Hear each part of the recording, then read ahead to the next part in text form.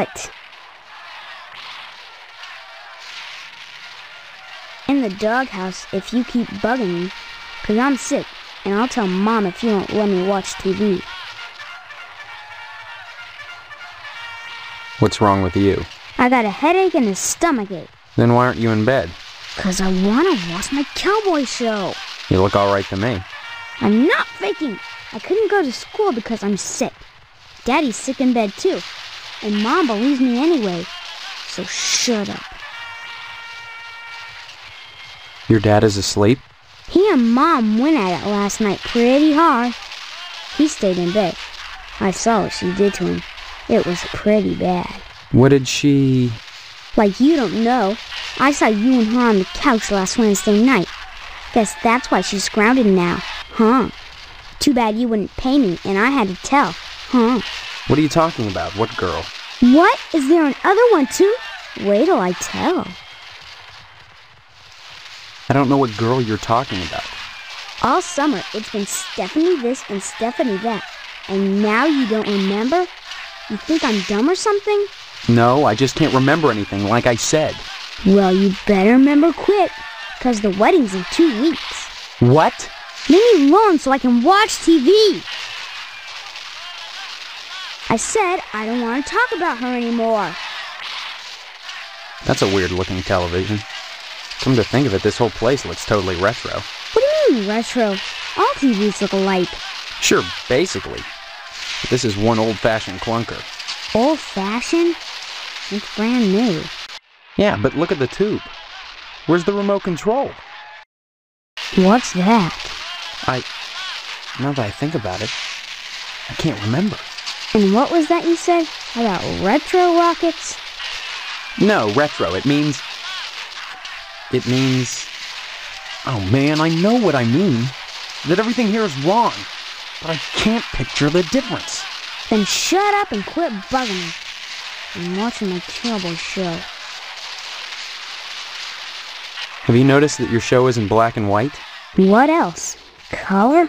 On a TV? Well, I. I think I've seen a colored television before. Have not. Quit it or I'm gonna tell. Hey, look at that! Your mother lets you watch this stuff? Sure. This is part of history. What made America great. And besides, blood and guts are needed.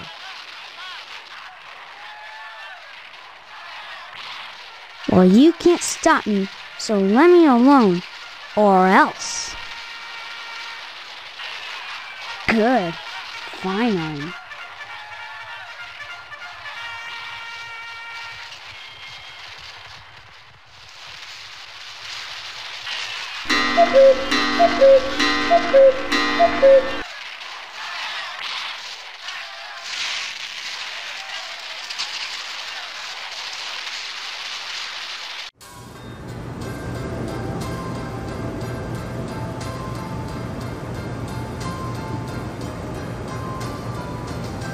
Well, hello there. How about some cookies? There's plenty of rejects in the trash. Who are you? That's a fine way to talk to your mother. You're my mother? That's right. Though sometimes I get treated like the hired help around here. I don't remember you. Of course you don't. Until you need your socks washed. No, you don't understand. I can't remember where I am or even who I am. Land's sake, stop your joshing, won't you? Honestly, Steve, I thought you'd grow up a little after graduation. I only hope that new job will plant your feet on the ground. So that's my name. Steve. Your name will be M.U.D. Mud if you don't stop teasing me, young man. Listen, this may sound strange, but I've lost my memory.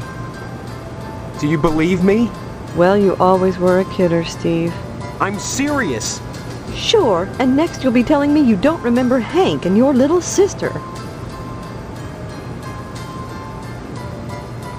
Sister? Shh, you'll wake her. I just put her down to sleep. If she wakes up, she'll just want to eat again. Darn it, I'm busy, and if you think I'm going to play along with this nonsense, you're crazier than Sparky down at the firehouse. Fine. Maybe I am crazy. I can't rule that out. Why can't you just help me a little? Is that too much to ask? Now you've done it. Are you happy? Poor baby. There, there. Did your brother scare you? Let me see.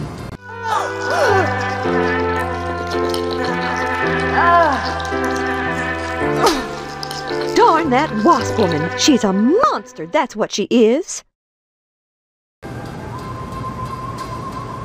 Wasp woman? Tetsuya Crumb is going to hear about this. I want you to go to her house right now and give her a piece of my mind. I don't know where she lives. Honestly, you can't miss a house covered with paper nests. Steve, you tell her to mind her own beeswax or by golly, I'll take it up with the PTA. Or the lodge. What lodge? The Hall of the Order of the Harvest Moon, Steve. It's just the finest place in Harvest, and the most exclusive. What's so great about it?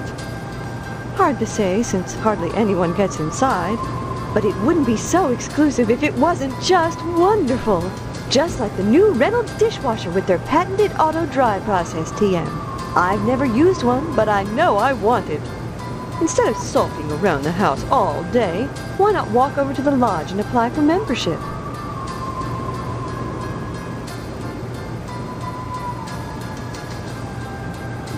That's wonderful, Steve. If you got into the lodge, you'd be the talk of Harvest. Harvest is a town unlike any you've ever known. In what way? I don't have time to go into it now.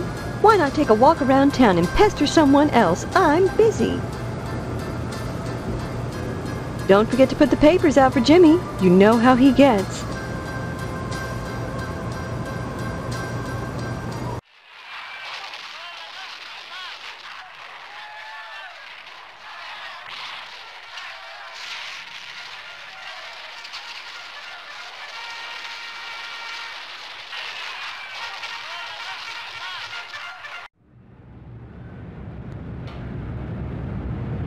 Hey, Steve, I'm Jimmy James. Remember me? Uh, I guess not. Hey, how come you haven't been putting the paper out for me in the morning? Yeah? Well, try to remember, will ya? How'd you expect a working Joe to make an honest living? You don't put the paper out, I'm out of a job. So what? You don't get paid for picking up papers anyway. The Sentinel building burnt down. What the heck else am I supposed to do? Listen, start putting that paper out and everything will be jake, okay? That's all I want. That and a pair of sneakers. Walking this route every day has worn holes in mine. Say, you got any spare sneakers? Oh, gee whiz. Look, if you find any, I'd be willing to trade you for 'em. Something really neato. Think about it. See you later, alligator.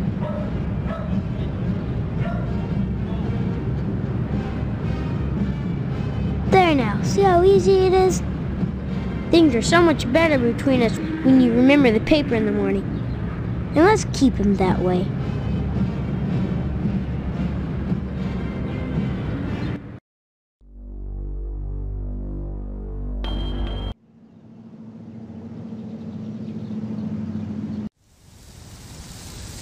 There he is, my future son-in-law. And how's he doing today? What brings him to the Potsdam household? Huh? Huh? Oh, you'll have to ask the missus about that. Stephanie's grounded to the wedding. Can't have her changing her mind at the last minute, not with all that meat at stake. Meat is the foundation of any decent society. Everyone needs at least three servings of red meat a day. And anyone who says otherwise is a commie. And once you're married to Stephanie, I'll be part of the family too. And your father will give me all the meat I want. kind of makes up for not getting into the lodge.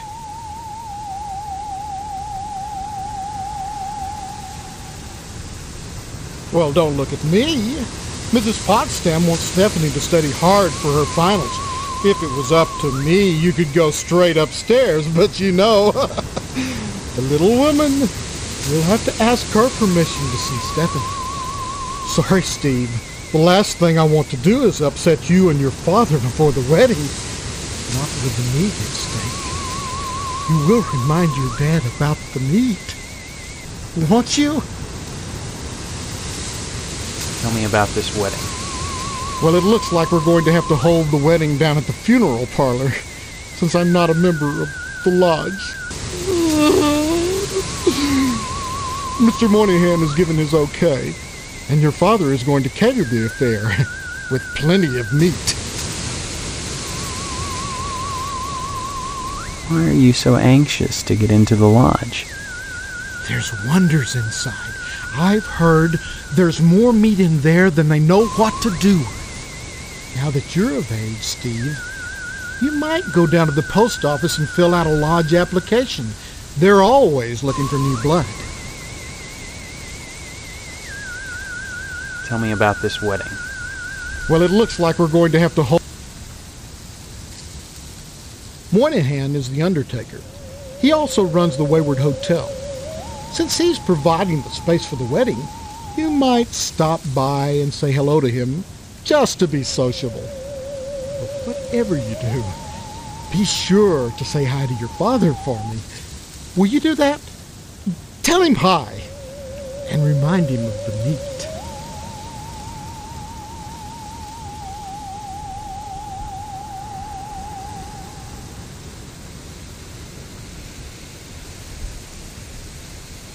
Hello, Steve. Have you flossed today? Honestly, you men can insult a woman without even knowing you've done it. What a horrible thing to say. They're both standing around baking cookies. Same kind of dress. Same pearls. So bizarre. There's nothing bizarre about baking cookies. The Harvest Charity Bake Sale is Friday, you know, and by gosh, Mrs. Marvin Potsdam Jr. can be counted on to do her share. Just because I'm doing housework doesn't mean I have to be a drudge. It's a wife's duty to look good for her husband at all times. What's wrong with wearing pearls, for heaven's sake? Nothing, but you look like June Cleaver. Some kind of sitcom mom. Sitcom? Geez, you know, situation comedy. The weird part is, I can't remember how I know that. I'm much too busy with housework to watch TV. Maybe Mr. Potsdam would know about sitcoms. Um, Stephanie doesn't watch TV, though. She's grounded. Mr. Potsdam feels there's too much at stake to allow Stephanie to run around loose. She doesn't want to get married either, huh? Are you saying you don't want to marry my daughter? I don't know your daughter, Mrs. Potsdam. Why is she grounded? Afraid she'll run away before the wedding? No. She's as delighted as we are about the wedding, every bit as delighted as we are. But she might get hit by a car or a falling piano or who knows what. Mr. Potsdam wants us all to be one happy family, and he doesn't want to risk anything happening at the last minute. I don't see any reason why not. You mustn't be too hard on Mr. Potsdam, Steve. He's a disappointed man. No matter how many lodge admission forms he fills out, they keep turning him down. He has a new application in, though, so keep your fingers crossed. If he joins the lodge, you and Stephanie can have your wedding in the Chapel of Love rather than over at Moynihan's place. Mr. Moynihan runs the Wayward Hotel and the Shady Oaks Funeral Parlor. It's rumored he has connections with the lodge, but the order keeps that kind of thing secret. So Mr. Potsdam has tried to get him to put in a good word for his lodge application, but so far. Give my regards to your parents.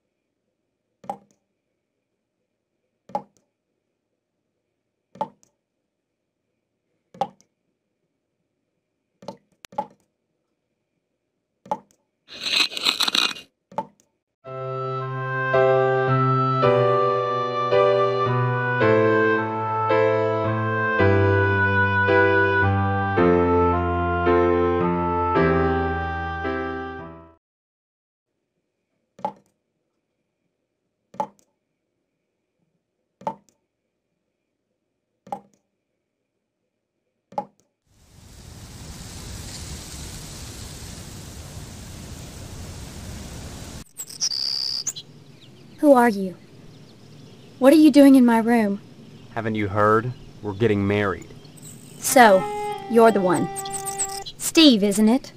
You mean you don't know me? I mean, I don't know anyone. I don't remember anything. How many times do I have to say it? Just one, Stephanie, because I can't remember a damn thing either. Really? Oh God, I thought it was just me. You're not alone. Can you tell me what's going on here? Those people downstairs have locked me in my room. They say I'm grounded until the wedding. They claim to be my parents. I can't dispute it because I can't remember for sure one way or the other, but it doesn't feel right.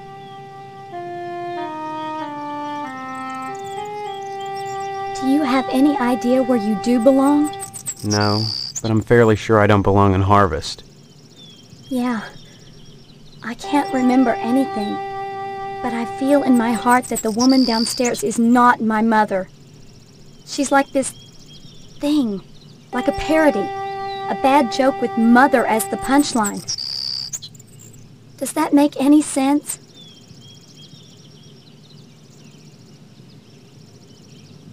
I'm glad I'm not the only one who sees it that way. I thought I was going crazy. Join the club. But we can't both be crazy, Stephanie. Either way, something really weird is going on here. I've got to escape, and so do you.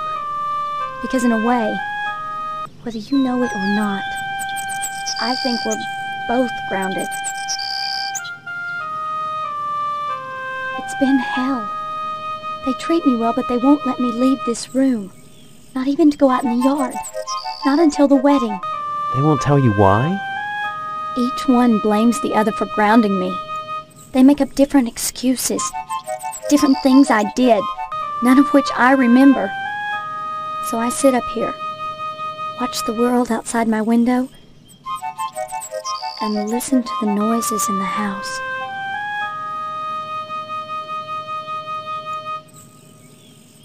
Every morning, a weird boy comes to the house and picks up the paper. He doesn't deliver the paper.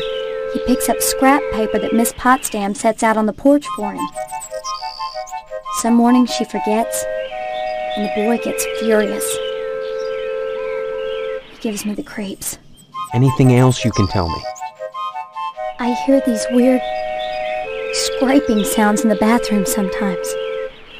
Like something is sliding along the wall.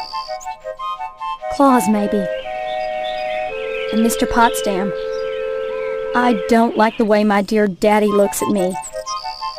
Both of them are always watching me. Especially him. You don't think they're dangerous, do you? I think this whole place is dangerous. I think we've got to escape. Before it's too late. Escape? Harvest is a prison, Steve. Don't forget that. Of course I'm right. Everything in Harvest seems to revolve around this damned lodge, this Order of the Harvest Moon. They're responsible for this insane bake sale that's coming and for the Harvest Blood Drive, too. When people talk about the lodge, it's always in this hushed, reverent tone. Mom keeps telling me that women can't join, but she keeps pressuring me to get you to join. She's not the only one who wants me to sign on with the lodge. That's probably the worst thing you could do. You think the lodge is some kind of trap? I think all of Harvest is a trap. That's true, maybe joining the lodge is the way out. Look, why not explore the town a little? I can't get out of here, but if I could, that's what I'd do. Maybe you can figure out what's happening here without going anywhere near the lodge. You're really afraid of the lodge, aren't you? I look at that building, all lit up at night, and I get scared. I mean, look at the damn thing. Seem like a harmless bunch of masons to you?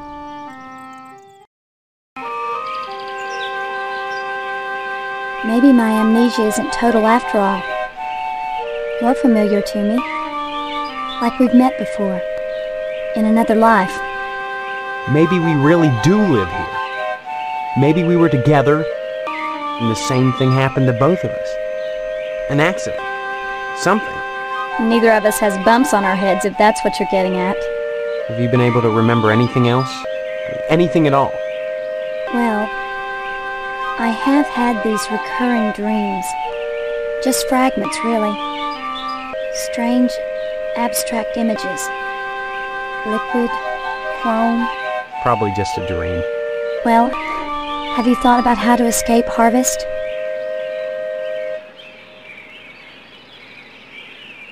The wedding is only three weeks away. Not much time to get to know each other, is it?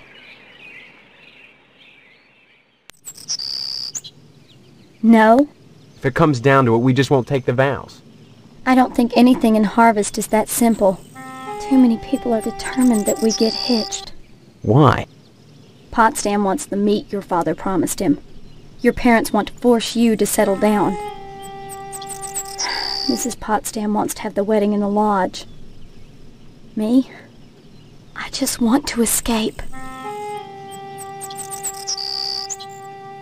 Come back and visit me soon, okay?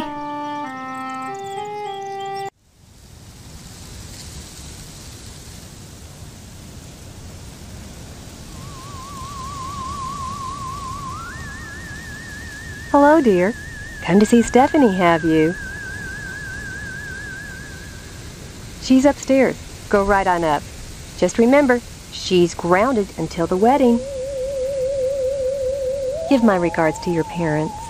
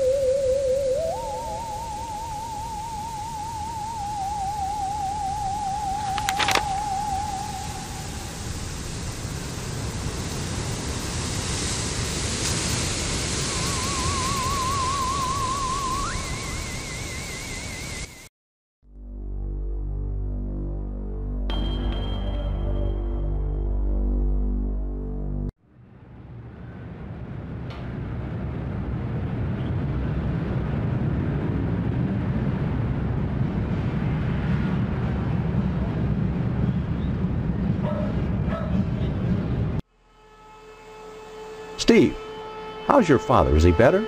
Uh, about the same, I guess. He's been away from work for weeks, and when I call your house, your mother won't let me talk to him. I haven't seen him either. This is a fine kettle of fish, I must say. Though I am glad to see you taking an interest in the business in your dad's absence. Who are you? Aw, Steve, I didn't want to believe that amnesia hokum. Now you're saying you don't remember your pal Pat O'Reilly? You may come to realize that this business is not for everybody. Just ask your poor, ill dad. It takes dedication and a strong stomach.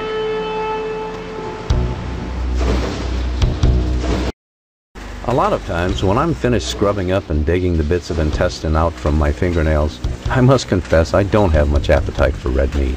But red meat is one of the principal food groups, and you've got to have it. So when you can do this all day and help yourself to a juicy red steak afterwards, then by golly, you can call yourself a butcher.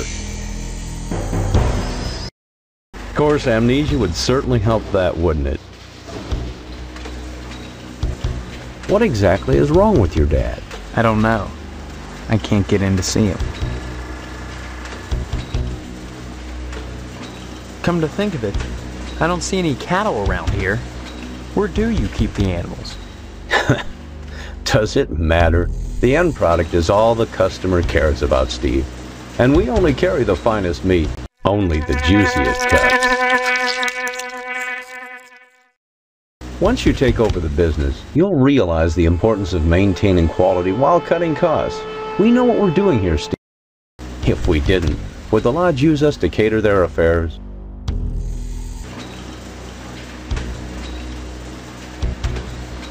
Your father's very particular about the profit, Steve. No freebies for anyone. But seeing how you're his son, if you'll bring written permission from your father, I'll give you the meat.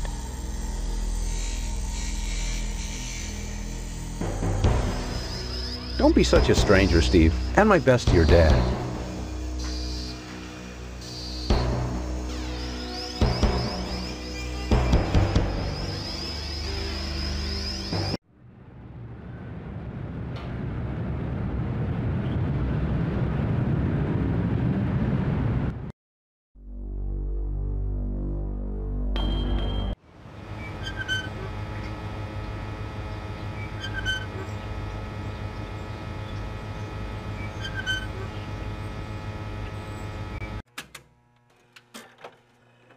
Oh, Steve, what are you doing sneaking up on me like that?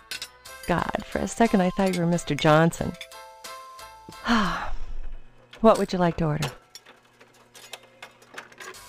Sure. And my name's Edna Fitzpatrick. I'm not the one with amnesia. Then you believe me. Well, you always were a kidder, Steve. I guess I've changed. I'm not kidding. Now, Steve, faking amnesia won't help anything. If you don't want to marry Stephanie, then don't. But don't play sick, for heaven's sake. I'd expect that from Karen, not an 18-year-old. You've met Karen, my eight-year-old. Other than the diner, she's all I have.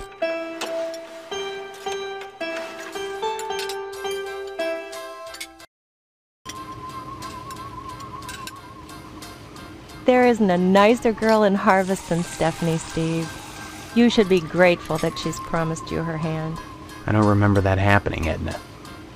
Honestly, you men are so childish.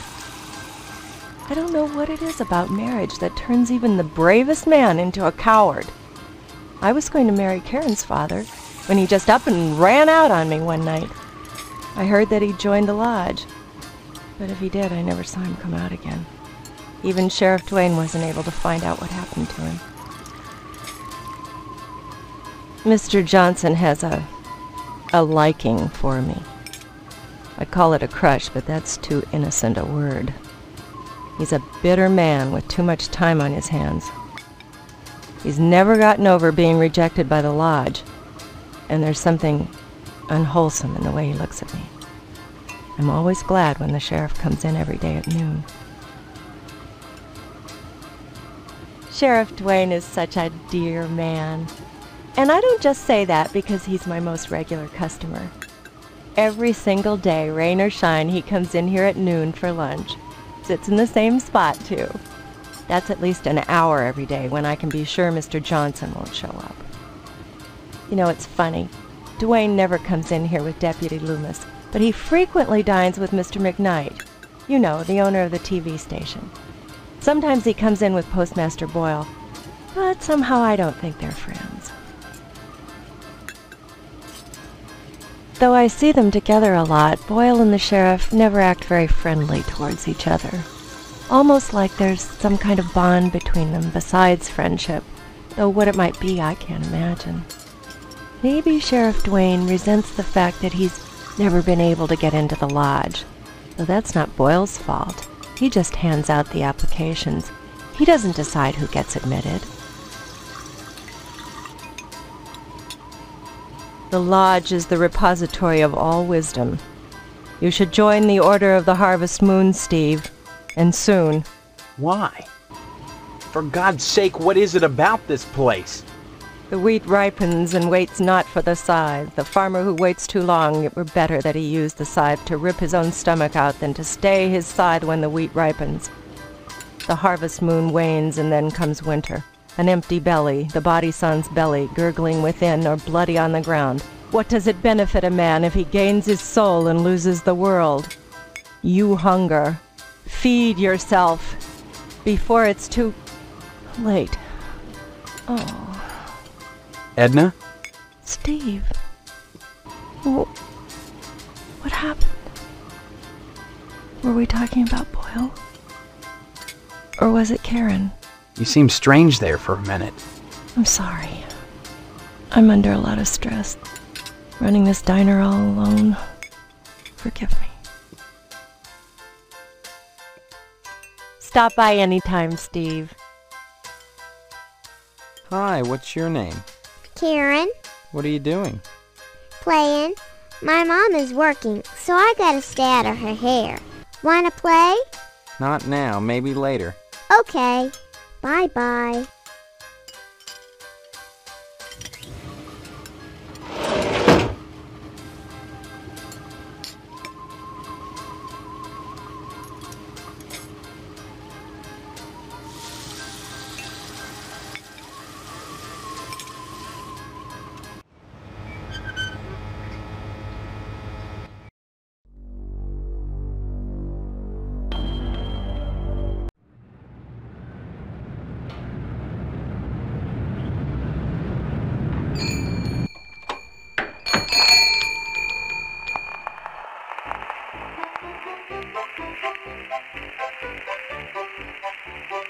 I help you, dear?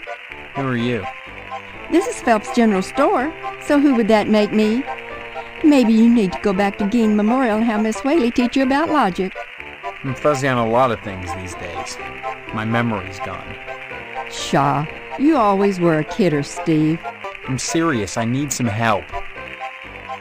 Well, they say a sharp blow to the head is a good thing for amnesia.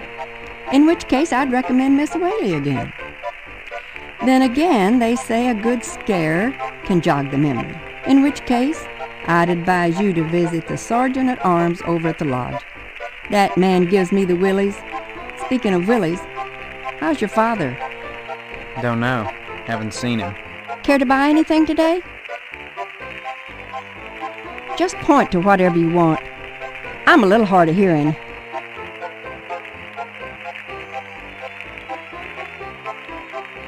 Steve. Just point to.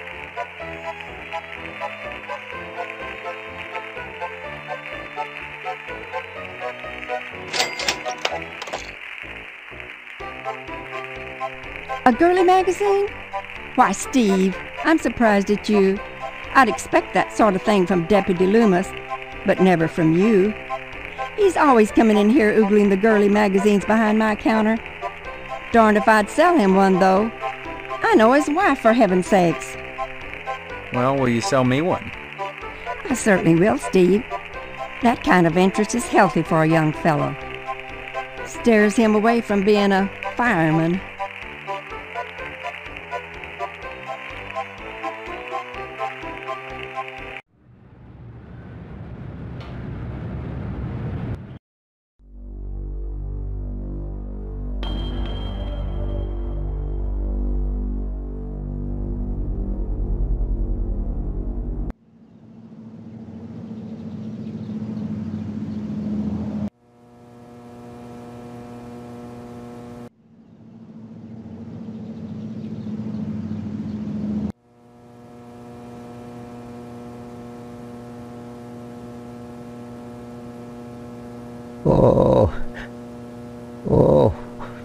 By George. Oh, by Jiminy. Oh, this here's the real thing. Oh, can I have it? Oh, oh, thank you, Steve. Excuse me, kiddo. I gotta go check the jail for clean towels.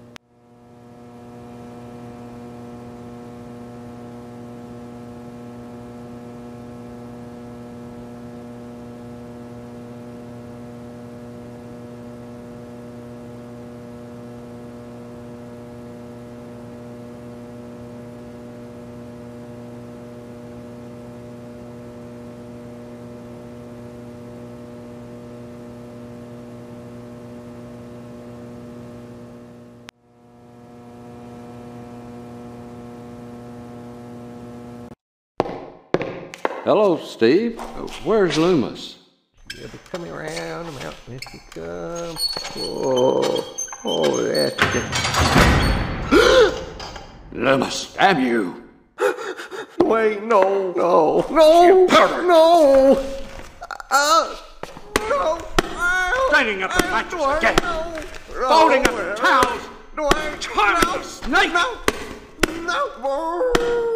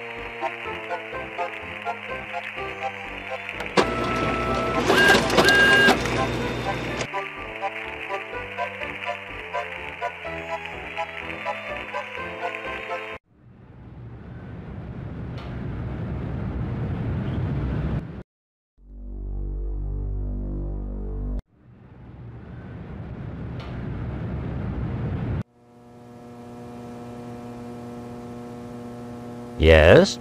I need some help. Mr. Postmaster Boyle, what can I do for you today? Mm, sorry, youngster, we're out of applications right now.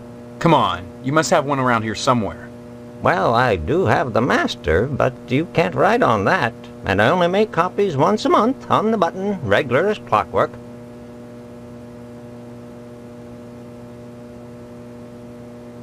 It's not the effort, son. It's the principle. We must adhere to our standards. They're all that stand between civilization and chaos. I'm sorry, you'll just have to come back in a month, same as anyone else. And even then, I can't guarantee you'll get an application. The line is always long, and there are never enough to go around. It's very important that I get in quickly. That's what they all say. Postmaster Boyle, I'll just die if I don't get into the lodge. I can't make an exception, young man. It just wouldn't be right. Next time you post, don't forget the zip code.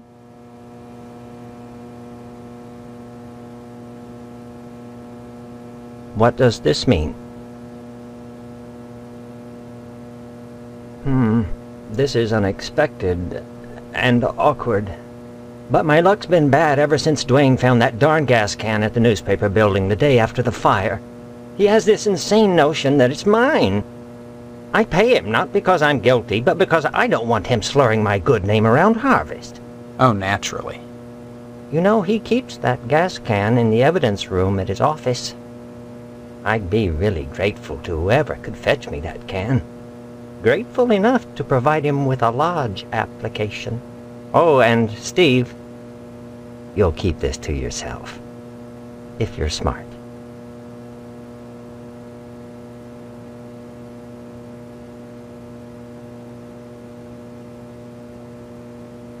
Oh my god, I can't believe it. After all this time. Where's my application, Boyle? Here, take it. With my thanks. You know, this morning as I was making my rounds, I noticed an awful lot of television aerials on the roofs. Seems like more and more each day. You got me this can just in time, youngster. I may have need of it again. What do you mean? There's another reason why Sheriff Dwayne didn't investigate the Sentinel fire. If you'd like to get something else on the blackmailing bastard, check around the television station. While you still can.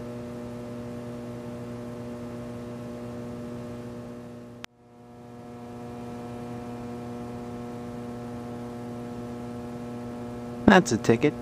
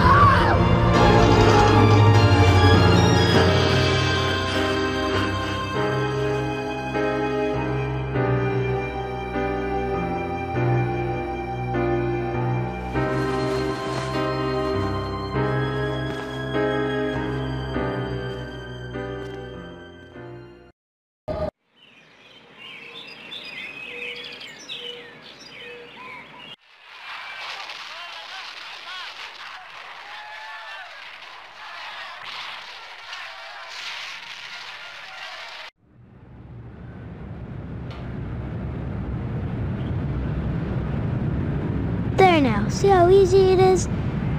Things are so much better between us when you remember the paper in the morning. And let's keep him that way.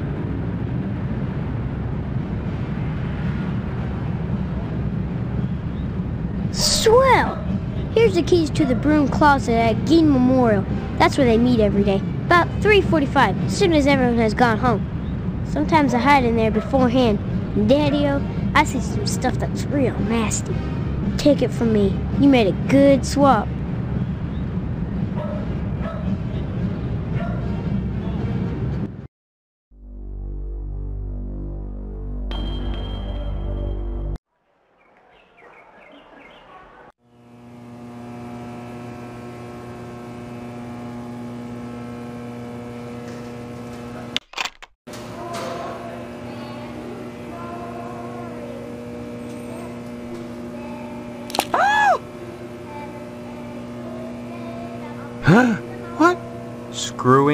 School broom closet?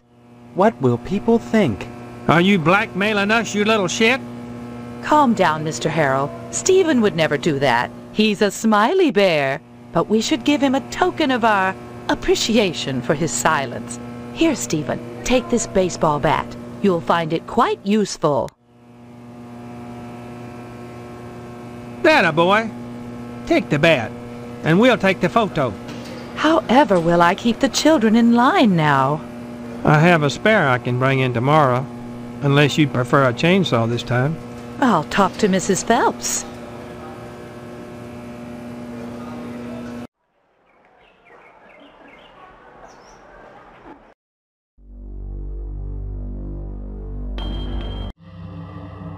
I take it you wish to be initiated into the mysteries of the Order of the Harvest Moon.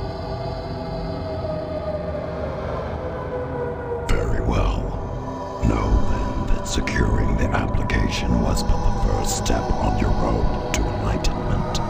Now you must complete a series of tasks to prove your worthiness as an initiate. What kind of tasks? Minor pranks, really. Nothing overly difficult. More tests of wit than prowess. But to complete them you must, if you wish to enter these walls. Minor prank, eh? I'll bet. What have you got in mind? There is in Harvest a man named Mr. Johnson. He owns a tucker. It is his pride and joy. I should like you to put a scratch in it. A scratch? That's all? As I said, a minor prank. Mind you, you are not to damage the vehicle. Merely put a single scratch in it. Once you have done so, return here, and I I shall give you your next task.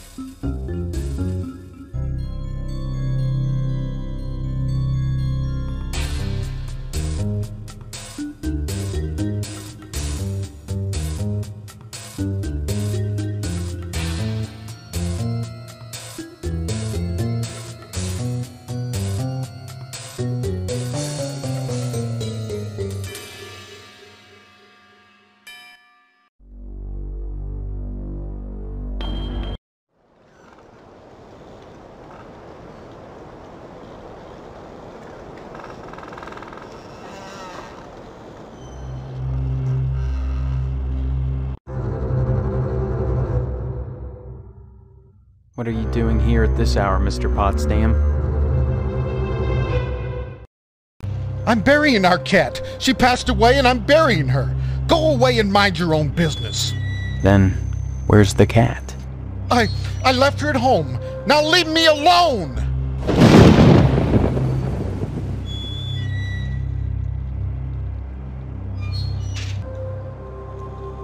This kind of stuff can come back to haunt you.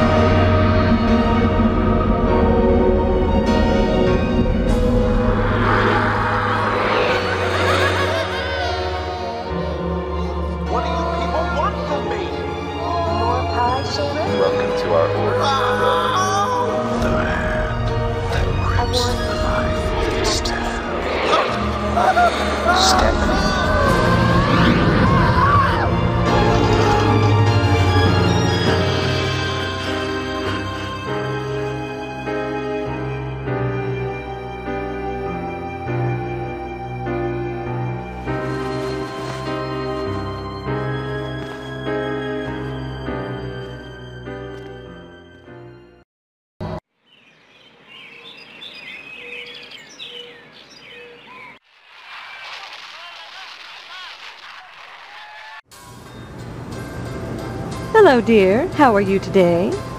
By the way, I spoke with Mr. Johnson and he's livid. Seems someone scratched up his priceless tucker. If he finds out who, there'll be heck to pay. Edna's daughter Karen has disappeared. Karen was playing outside as Edna closed the diner, and that's the last anyone saw of her.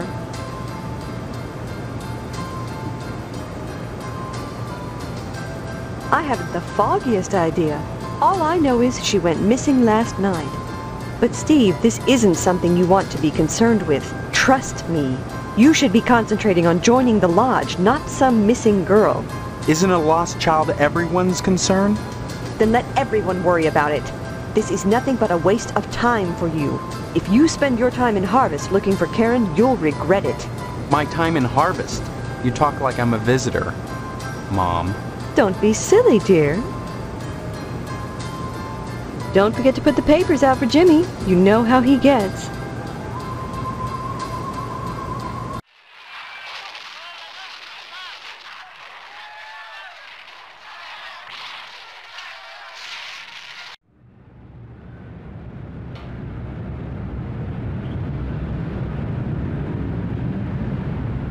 Hey, Steve, you've been doing a swell job putting the paper out in the morning. You just keep doing that and we won't have any problems. That's not much to ask, is it?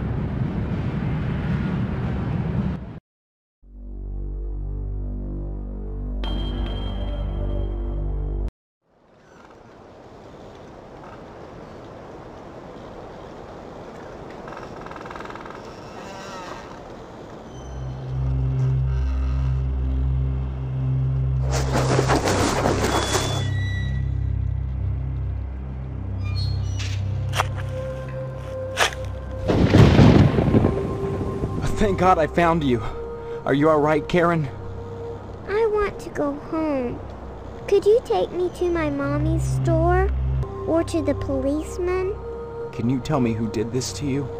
Mr. Potsdam told me he'd hurt my mommy if I told. He won't do anything, I promise. Tell me what happened. He made me play house. Then he dug a hole. Please, I just want to go home now. Please. Can you tell me your address, honey? I don't know. Just take me to the store or the policeman. Please. Mommy said to go to the policeman if I got lost. And I'm lost.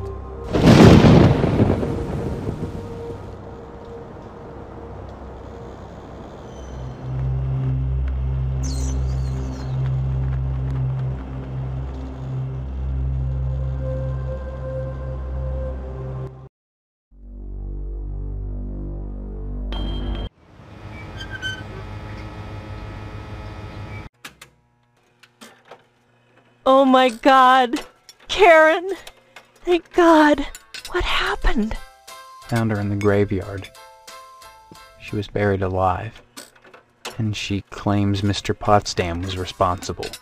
Thank you, Steve. Thank you from both of us. Here. Here's the reward money. Take it and go.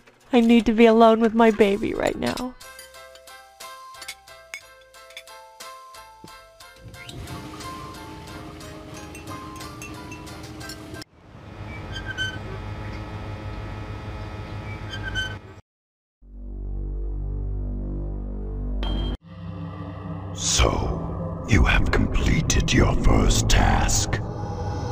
That you've scratched the tucker, you may proceed to your second task. You will steal a bolt of fabric from the fireman and bring it to me.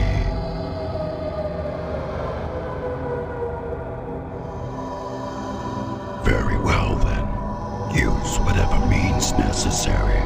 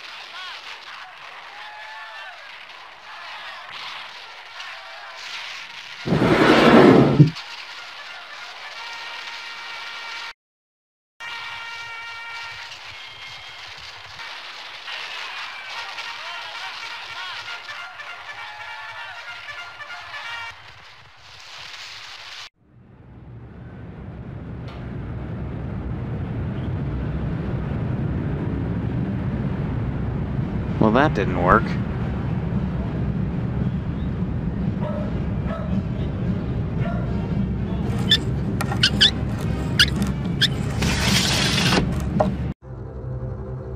Steve, is that you? Come to see your poor old dad? Are you my father? Really? I don't remember you. Please. I'm not in the mood for jokes. I'm serious. Why won't anyone believe me? Well, you always were a kidder, Steve. Just don't make me laugh now. Remember the stitches. My God. What has she done to you? She doesn't know you're here, does she? Does she? No, I had to break in. What the hell is going on in here? I know it's a mystery to you. The sacred things that husbands and wives do behind closed doors. Maybe we should have that special father-son talk. Especially now that you're getting married.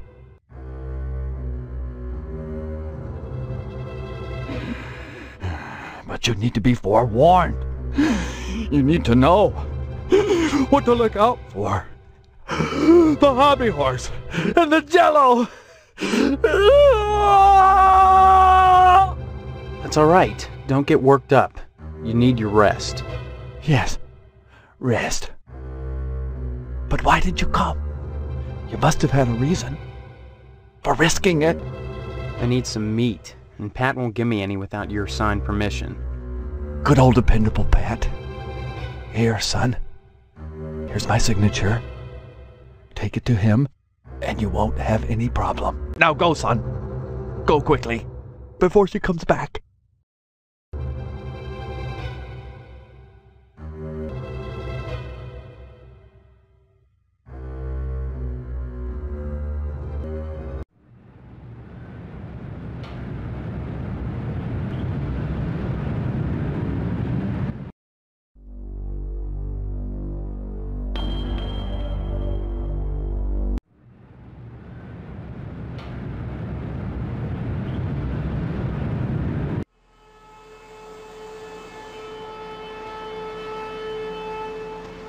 So, your father okayed the meat, huh? How's he doing? Good, good. Glad to hear it. Here's your meat, son. You run along now. A new shipment of animals has come in, and it's time to start cutting.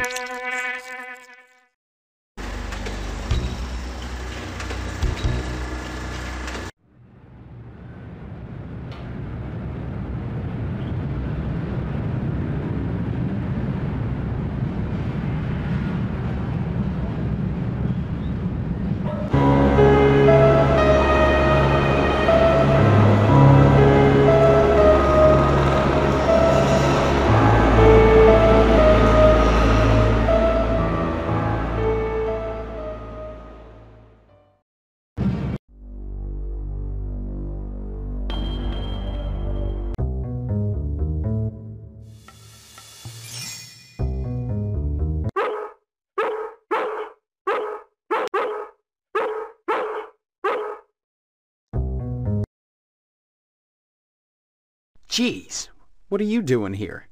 Just standing here, waiting to be drawn. You just hang out here? All the time? I'm not a person, Steve. I'm an object. You'd do well to remember that. A person is his job.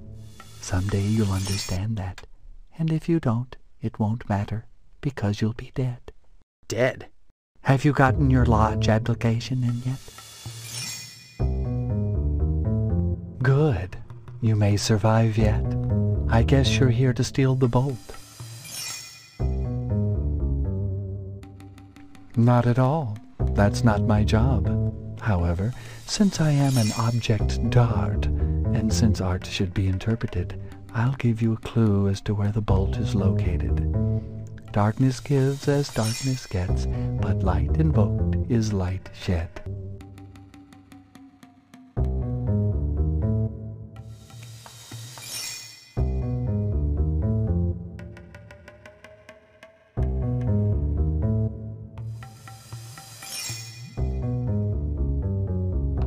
All right.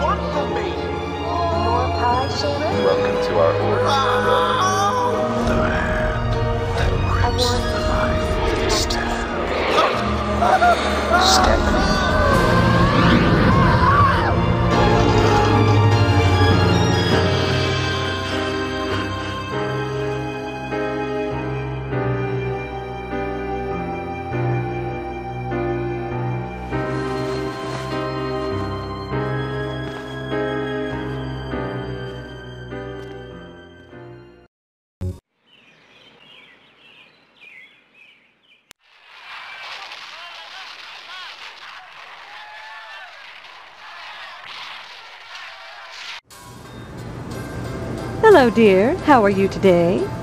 You know those firemen? The funny ones with the color sense? Looks like they misplaced a bolt of expensive fabric. Of course, each one of them suspects the other. Looks like a catfight is brewing. Congratulations, hero. You found Karen after all. You don't seem proud, Mother. I wonder why. I warned you not to waste time looking for her. Am I running out of time? The blood drive is coming soon. What does that have to do with anything? If you haven't joined the lodge by then, you'll find out. Still, I'm glad you found the poor baby. She says Mr. Potsdam was responsible for what happened to her. What a silly little girl. Shame on you! Imagine accusing your future father-in-law of a thing like that. Is that how a range rider would behave? I don't think so. Why would she lie? Okay, Weisenheimer, even if he is a child molester, a kidnapper, and an attempted murderer, that's no reflection on what kind of father-in-law he'll be. I just can't wait for the wedding. Can you? Don't forget to put the papers out for Jimmy. You know how he gets.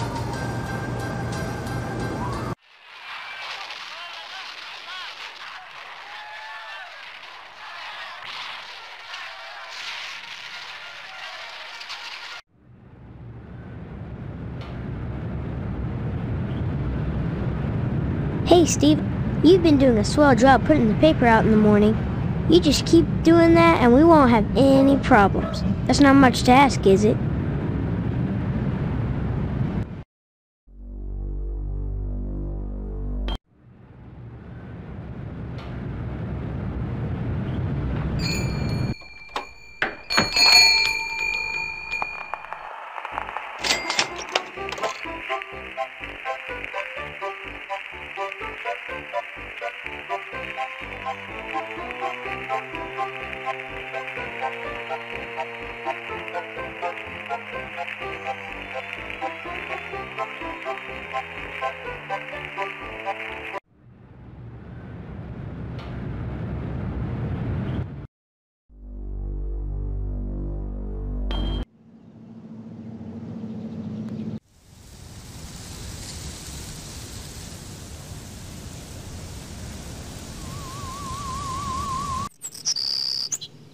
Steve, I'm so glad you came back. What have you been doing? I visited the lodge, talked to the sergeant at arms there. He knows that there's something out of whack here. He told me if I wanted to find out what it is, I should join the lodge. I've decided to join the lodge, Stephanie. I think the answer to all our questions is inside. That place. It's so sinister. You may be playing right into their hands. Did you think of that? Doesn't it seem like you're being herded toward the lodge? That's one of the things I hope to find out. I hope finding out doesn't get you killed. My faux mother keeps me up on the latest gossip. Not like she really wants to talk to me. More like she's feeding me information. For instance, she told me that Mr. Johnson's Tucker was vandalized. That's another weird thing. Every car I've seen drive by is a Tucker. There were only 31 produced. What are the odds of that? I've always wanted a Tucker. Funny that Harvest would be full of them. Any idea who scratched the car? Why would you do something like that? It's part of the lodge initiation. I see. Look, I don't know what's going on here, but getting into the lodge is the best way to find out. By committing vandalism? Well, I guess you'll fit right in, won't you? Scratching a car is no big deal. Getting out of this mess is. Sorry. When you put it that way, I guess I was overreacting. You know the firemen? Someone stole some fabric from them, and they're up in arms about it. Another harmless prank? And how many more harmless pranks will you be pulling? However many it takes to get in, Stephanie. If I have to use them to escape, then I will. Are you using them? Or are they using you? It was just a bolt of cloth. You've turned the firemen against each other. They think one of their own stole it. Would you rather stay here? I've heard that harvest is lovely in the fall when the leaves turn orange and gold, and the annual blood drive paints the town red. All right, all right. You have a point. Is it true? You found Karen? Yeah, just in time, too. He'd molested her and buried her alive. He couldn't bring himself to kill her outright, so he just decided to stick her in the ground and let fate take its course. Who? Who would do that to a helpless child? She says it was Mr. Potsdam. And I believe her. And all this time I've been under the same roof with that... with that thing watching me. Take it easy, okay? So, at least they'll be coming to take him away, won't they? Come back and visit me soon, okay?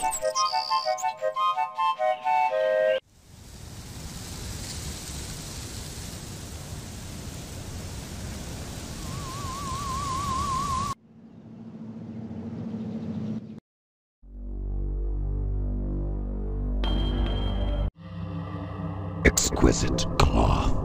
Its loss should trigger quite a bit of dissension amongst our gallant firefighters. Still, that is not your concern. Your next assignment is to break into the tonsorial establishment of Mr. Pastorelli and abscond with his prized barber's pole.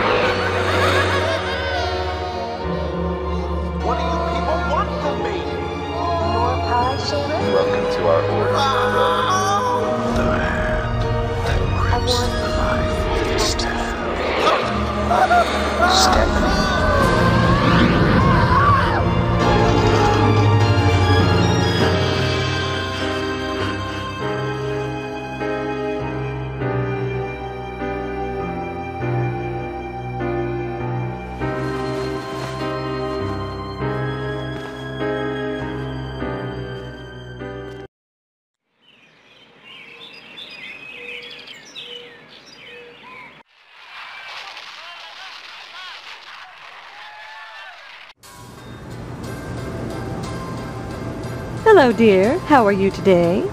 Did you hear what happened at the barber shop? Someone broke into Pastorelli's salon and took his antique barber's pole. The next morning, Pastorelli touched some live wires that the thief left lying around and was electrocuted.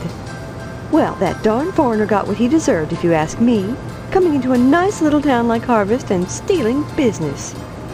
Heavens, if a bowl and scissors were good enough for your father, I don't see why decent working folk need a fancy wop styling their hair. That's how it goes. First you get a sissy trim, then bang, you're a communist. Isn't it exciting, Steve? Five days and 1,200 cookies later, the bake sale is already here. Where does the time fly? Those 1,200 cookies. How many are you taking to the sale? Oh, about 20. The rest were stale. But the effort wasn't wasted. It's for a good cause. Will you be at the school tonight?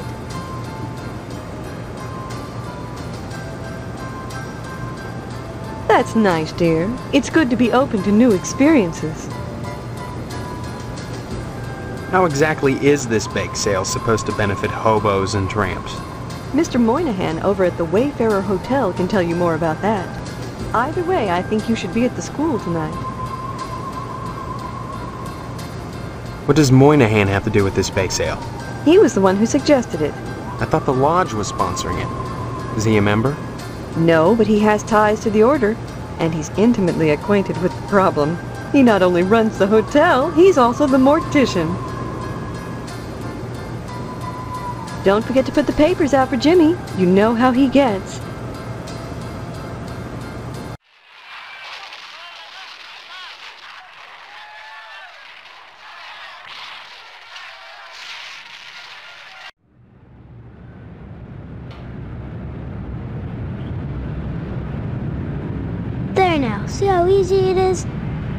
Things are so much better between us when you remember the paper in the morning. And let's keep them that way.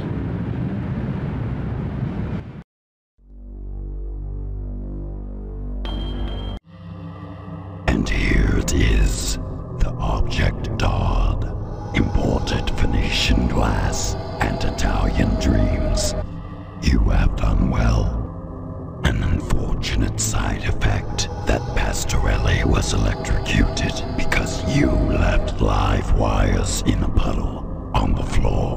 But as those with affectations of worldliness say, c'est la vie.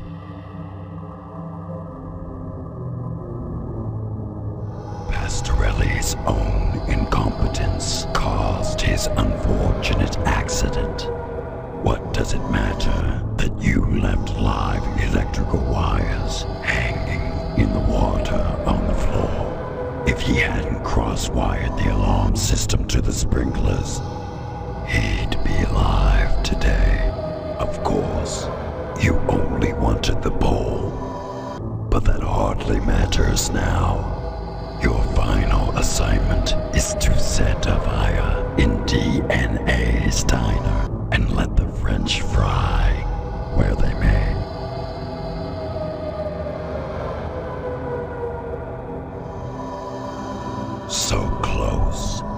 So far. What a pity. Tonight, the bake sale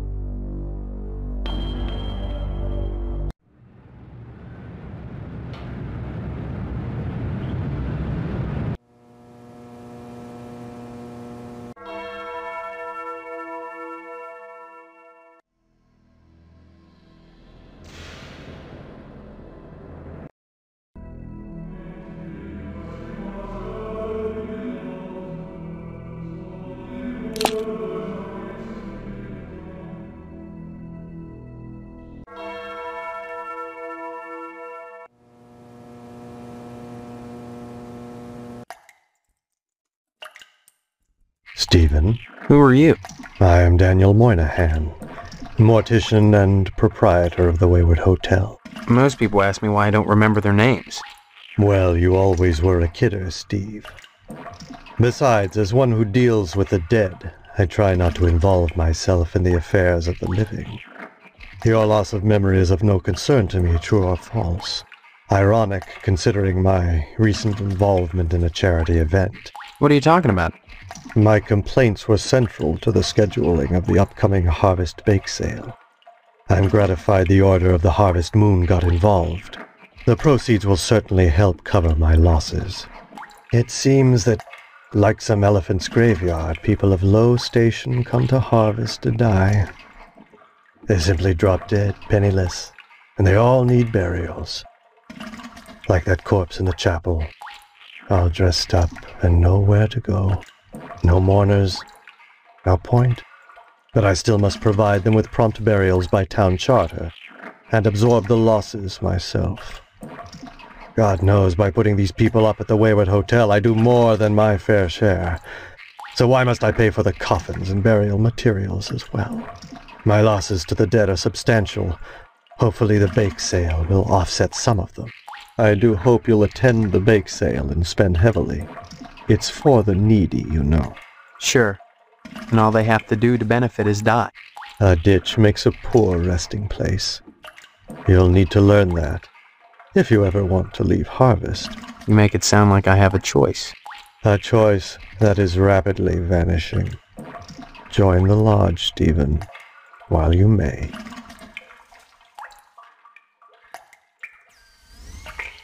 This bake sale is a joint effort of the Harvest PTA and the Order of the Harvest Moon. The proceeds will be used to set up a fund for transients. In other words, bums and societal rejects without families who wander into harvest uninvited. Then the Order is setting up shelters for the homeless? Not shelters, graves. You see a great number of these hobos die while passing through. Don't ask me why, it's what those people do. Use your common sense, Stephen, memory or no. If they were involved in setting up homeless shelters, then why would I be involved? And why would I be sustaining losses? As always, the Order of the Harvest Moon has taken the lead in addressing our societal ills. Through their sponsorship of the blood drive and the bake sale, the Lodge ensures that all our needs are met. Needs? Such as... Pardon me, there are corpses to prepare. And my losses have been substantial of late. If you're sincerely interested in the Order, however, you should stop by the Lodge and speak with the Sergeant-at-Arms. Why should I be interested, Mr. Moynihan? Of all the spots in Harvest, the Lodge is the most prominent, literally and figuratively. It is the ambition of everyone here to join. And join you must to attain wisdom. What kind of wisdom? If I knew, I'd be a member. I have the feeling you have what it takes to join the Order, Stephen. We all believe that. Whether or not you live up to your potential is up to you. It seems that, like some elephant's graveyard, people of low station come to harvest to die.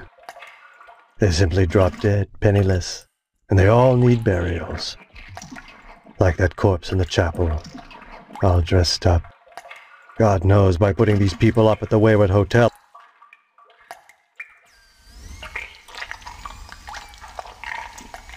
The corpse reclining in the chapel right now is a prime example of the difficulties I face.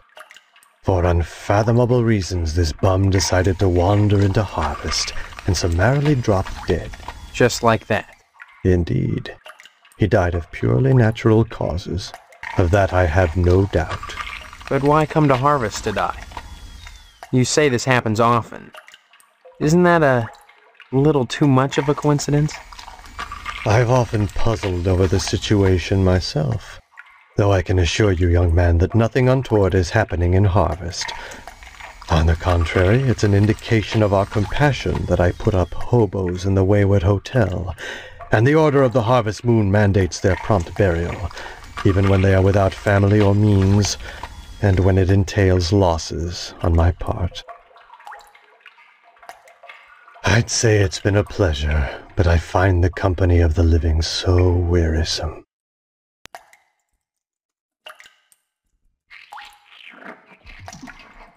Ah, you've taken up photography, I see. Now why on earth would you choose such a grotesque subject? That John Doe you've got boxed up in the chapel? He didn't just drop dead. Someone helped him take the plunge. Hmm. You may be right. I'm a mortician, not a medical examiner. You don't have to be to know that being ripped to shreds can be detrimental to your health. This is not something you want to be looking into, young man.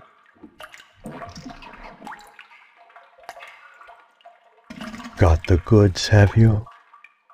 You're in harvest, my young friend. Have you tried the road out of town yet? Do so, and you may question exactly who has who. Look, are you going to tell me what I want to know, or do I go to the sheriff with these pictures? That would be a grave mistake, I assure you.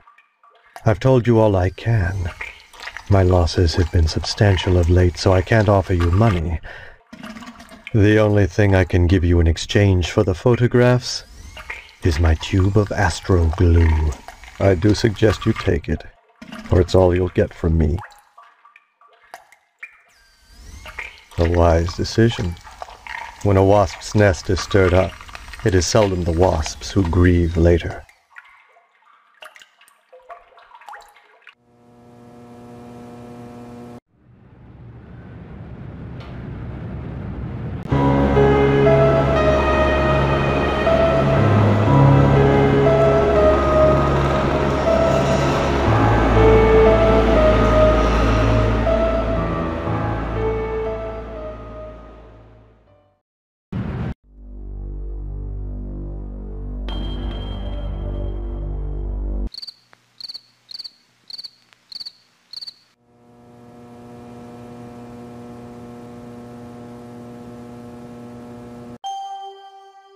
Hello, Steve. So nice to see you.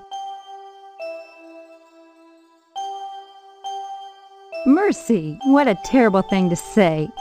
Isn't it, ladies? Yes, terrible. What a good boy you are. Have a cookie. Derelicts and bums who wander into town who don't have enough money for a decent burial. They deserve to be buried. It's the Christian thing to do. That's awful nice of you. But why do so many derelicts and bums die in harvest? Don't be such a wise apple, Steve. Ladies, someone has just burned down the TV station. On the night of our bake sale?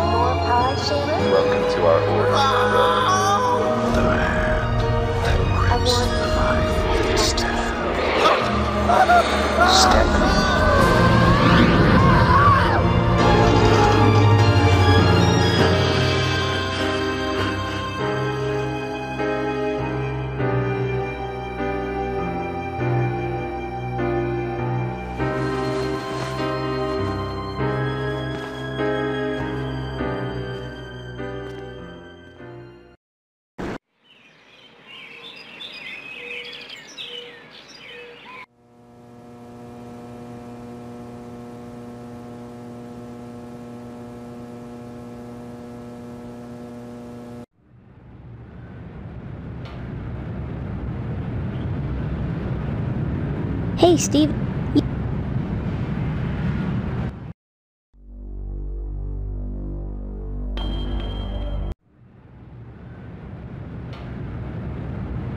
Say, can you spare a dime for a buckaroo who's down on his luck? The whole shebang just went up in flames, and I'm looking to mosey on to greener pastures, where the sunset's always golden, and there's always another savage to kill.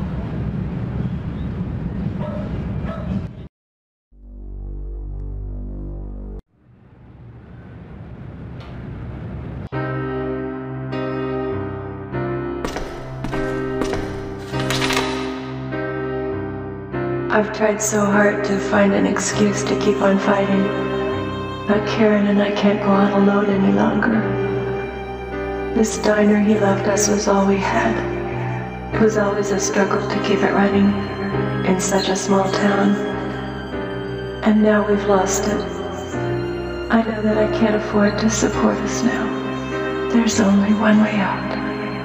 I'm sure you won't be able to understand the depth of despair that would enable a mother to put a rope around her baby's neck and push her into the air and jump after her.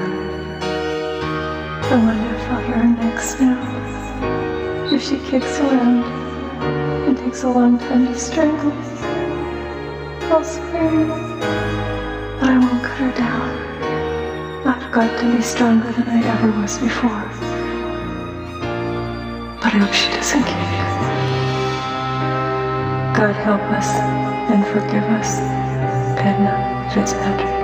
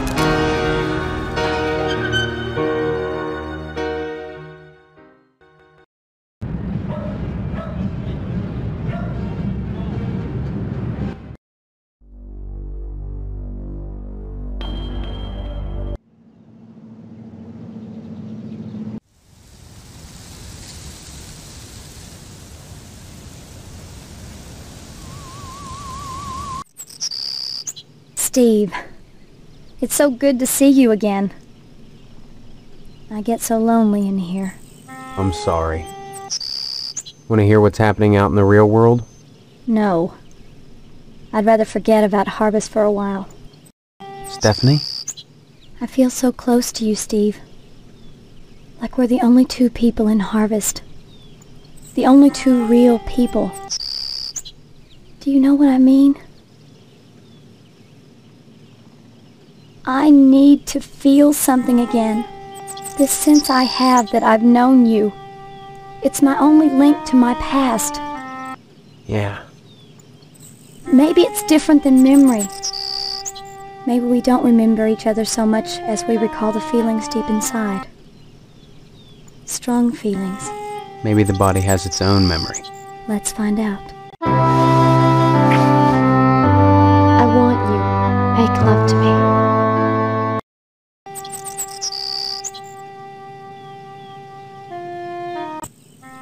Take me.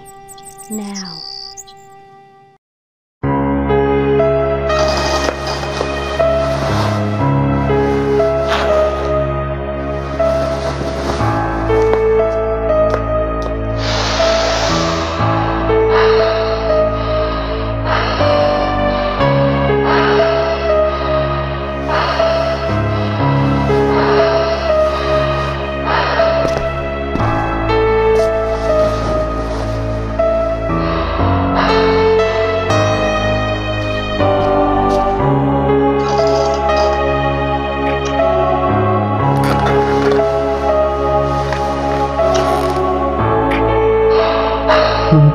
I'm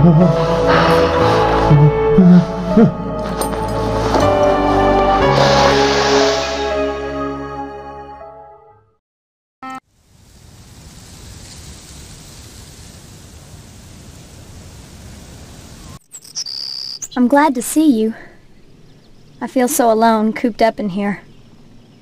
I saw the TV station go up from my window. It lighted up the whole town. It looked like hell. I wished it would consume the whole damn place. And me with it. Don't talk like that. I'm sorry. I just can't stand it anymore. I wish there was something I could do. There he is. Make love to me. You wouldn't be taking advantage of me, Steve. I need to be close to someone right now. I'm so lonely. I know. But I can't. I guess I understand. But I can't say I like it. I don't know if you heard or not, but Mr. Pastorelli, the barber, he's dead. Looks like somebody stole a barber's pole from him, then left the exposed electrical wires and some water on the floor. Pastorelli walked in, flipped on the lights, and...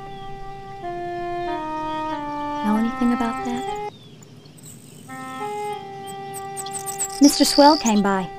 I heard him telling my father about it. He said it smelled like roast pork. Well, these things happen. Especially around here. I heard that Edna's diner burned down. Why are you looking at me like that? Did you torch it, Steve? This had the stamp of another lodge initiation stunt. Maybe so, but I had nothing to do with it. Thank God for that. She hung herself, you know. And Karen. Can you imagine? Killing your own daughter? The despair she must have been feeling to do something like that? She must have felt there was no way to carry on after the fire. Accidents happen. It was no accident. The sheriff supposedly found evidence that the fire was set.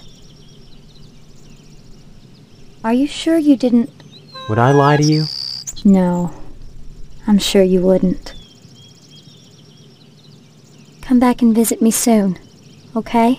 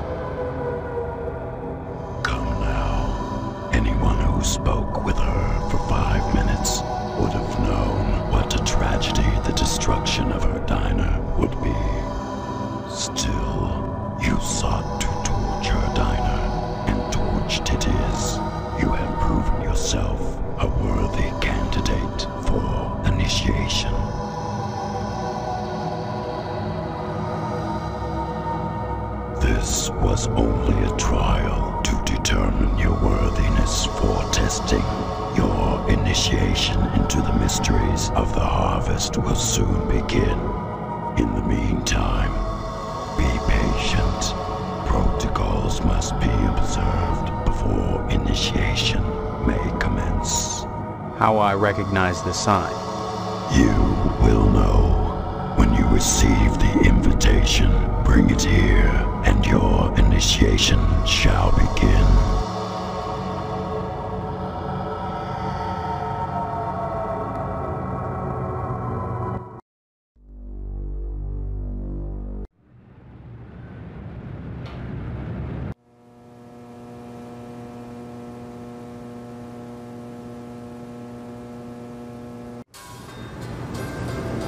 Hello, dear. How are you today?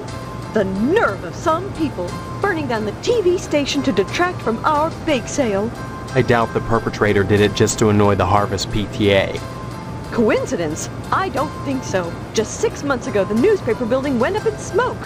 Obviously, there's a firebug on the loose. Either that or a communist. Steve, I'm so scared.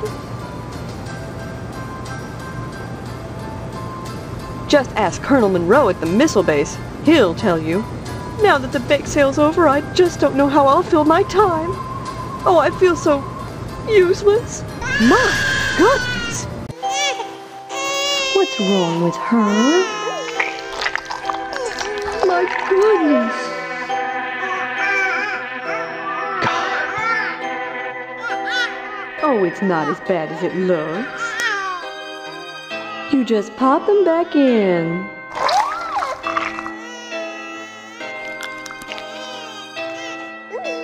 See? As good as new.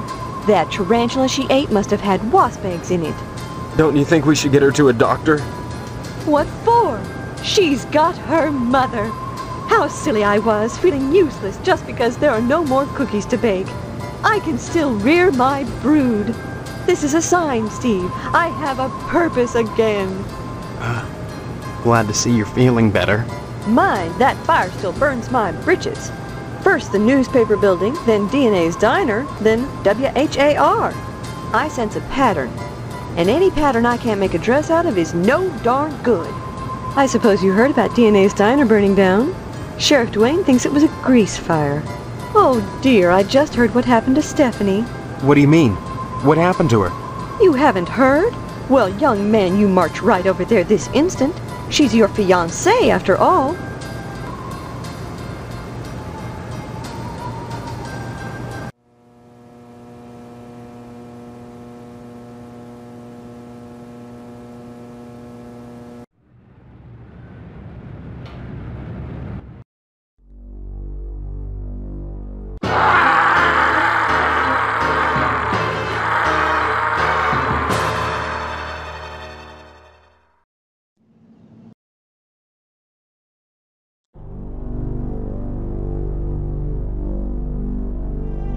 Guess I can forget about the meat, huh? What do you mean?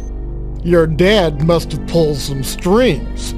Be sure and check Stephanie's pillow, you lucky bum. What the hell are you talking about?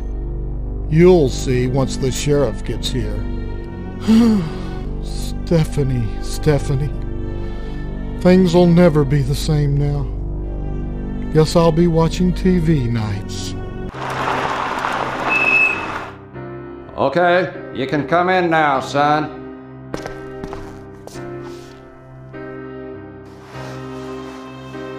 My god. Is that what I think it is? Yep, it's a spinal cord. Is it Stephanie? I can see a resemblance, but I can't be sure. More pie, Sheriff? Pie? Don't you realize what's happened? Oh, indeed, I do. I, I can just hear the tongues wagging at the PTA. W- was it suicide?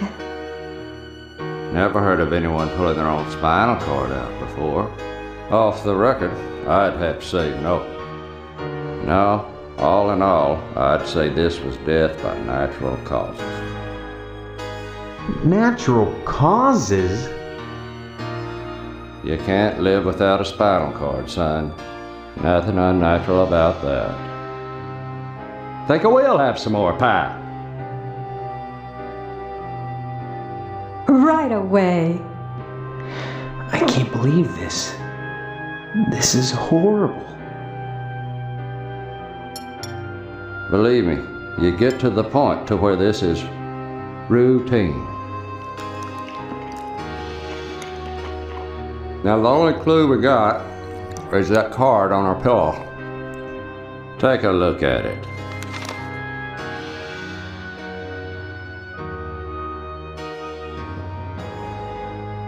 This is practically a confession. Confession to what, son? Murder. Isn't that what you're here to investigate? Son, you don't investigate natural deaths. No point. Then I'll get to the bottom of this myself. Yeah. I'm sure you will. More pie, Sheriff? Don't mind if I do.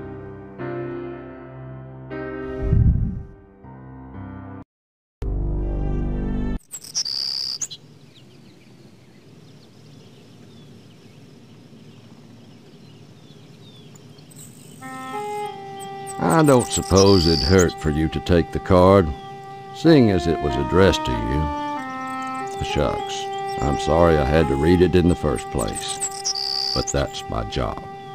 Say, I wonder if there's more pie. Hello, Steve. Have some pie? Well, what family doesn't have its little problems? If it's not poor dental hygiene, it's a spinal column on the bed.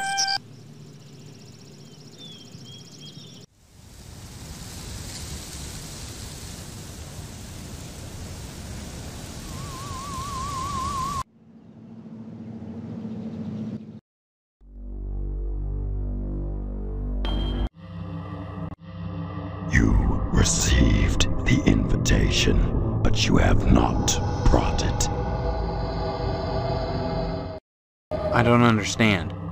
The invitation was not the card, but the spinal cord. It must be presented to me ere I allow you to enter.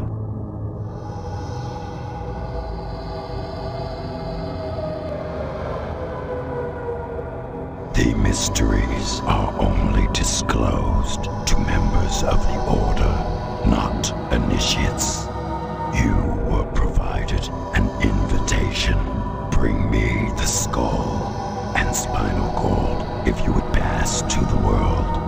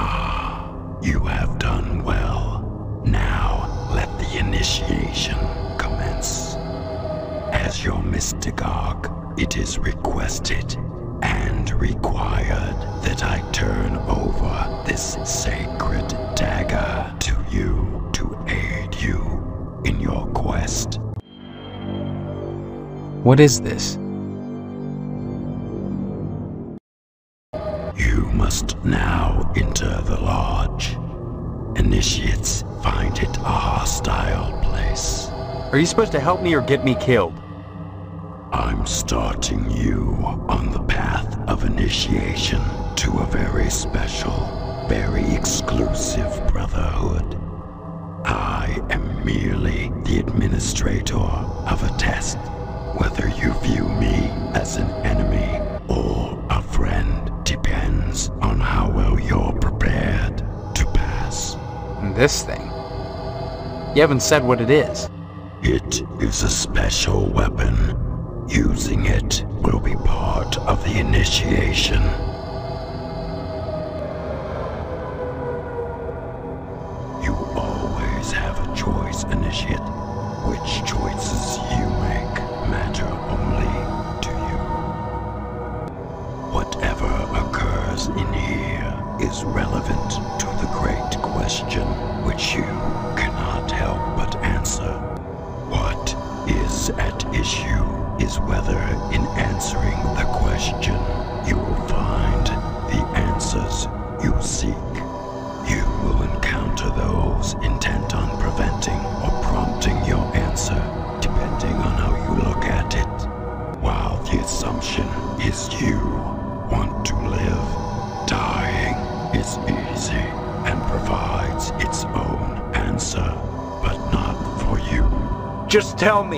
Stephanie dead or being held within? The membership director on the second level keeps track of such things. Oh, great. Then you are against me.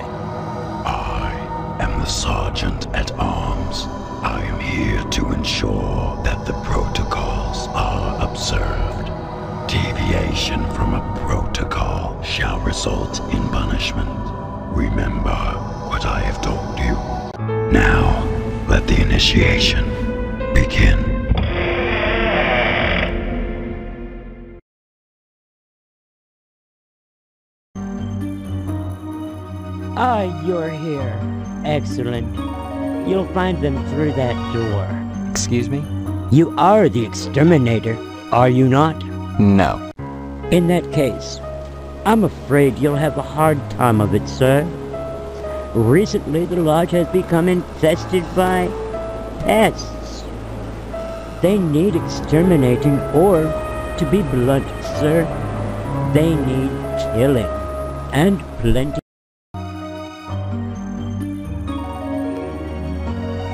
We're not speaking of cockroaches. A bewildering variety of deadly beasts lie beyond, and just before the annual board meeting. Dreadful. I wish you good luck, sir. I only hope you can stomach what's ahead.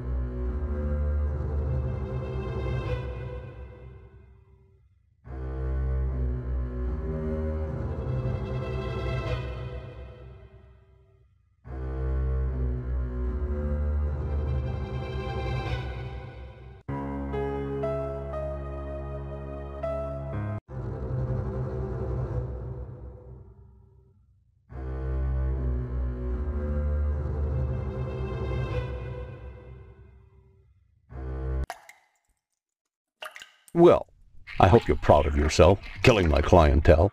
Ever since the monsters invaded this level, the members have taken to dining with the Grand Poobah upstairs. Actually, I have to admit my last few meals haven't been up to snuff. The problem is the freshness of the corpses, or lack thereof. See, the supply has dried up. The sergeant-at-arms always used to insist that bodies killed in the lodge be disposed of without trace, and so the members would bring me their business for preparation and dissemination. Sorry. You'd need to talk to the membership director up on two. Can you tell me anything that might help me? Not really.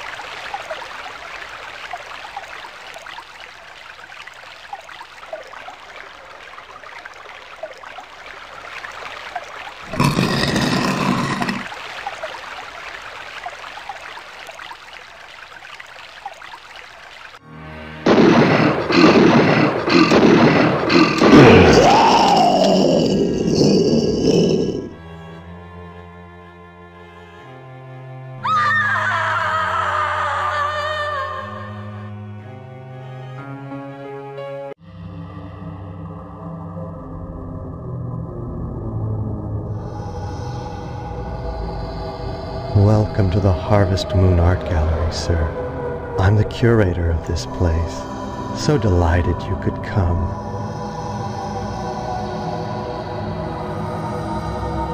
That's always the dilemma, sir. What are the boundaries of art? Only you can answer that, and only for yourself. Lovely works, pastoral scenes, noble sculptures. These are easy on the eye and mind. But when confronted with a work of hideous form, are forced to deal with it, even if only to dismiss it as trash. Sadly, the most extreme works are the hardest to dismiss. Grotesqueries amid works of beauty are necessary. That should be taken for granted. Nevertheless, it's important that each individual determine his own sense of aesthetics. For that reason, I give you permission to obliterate that which forces you to linger too long in the gallery. I'm just passing through. If only it were that simple.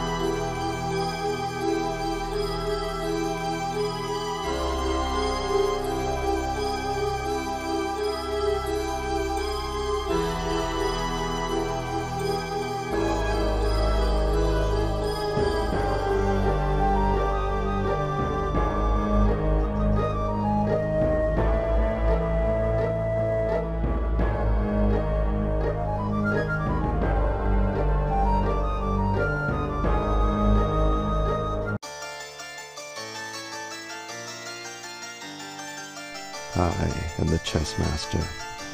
Any initiate who wishes to pass this way must do so over my dead body. Being a civilized man, I offer my opponents a choice.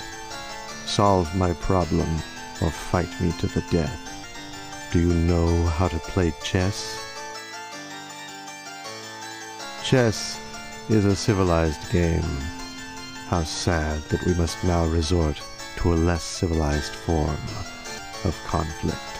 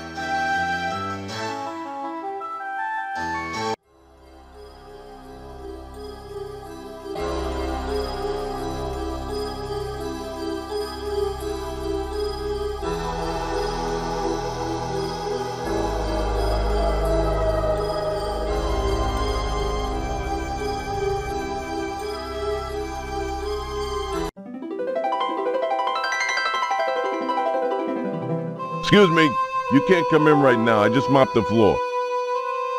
You think just because I'm a janitor I got no pride? That's all I got to do all day is clean up after you rich bastards? A hike before you get hurt.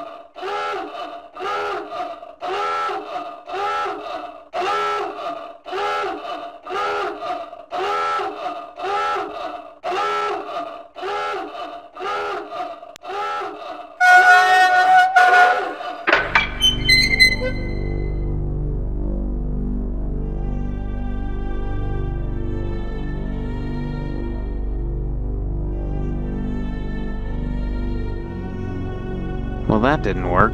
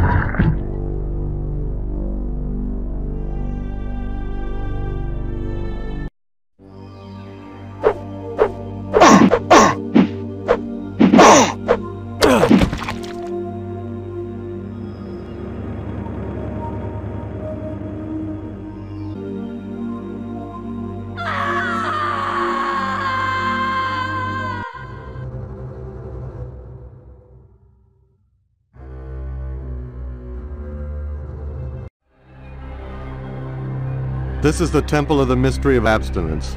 Do not eat of the food or you will be punished. All within are hereby bound to a vow of abstinence.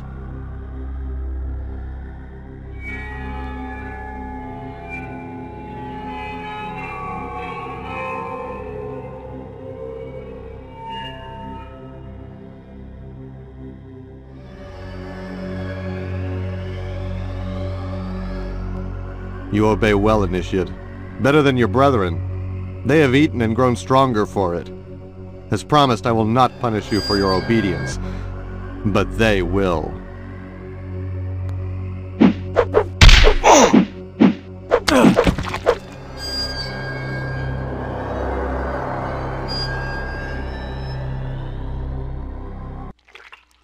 And some mothers complain that their children don't come to see them. Mm, Mommy, you're so good. You're so good.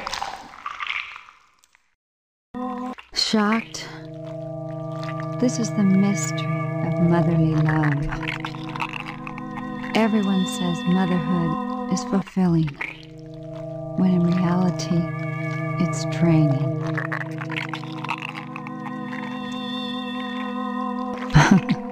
Oh, yes.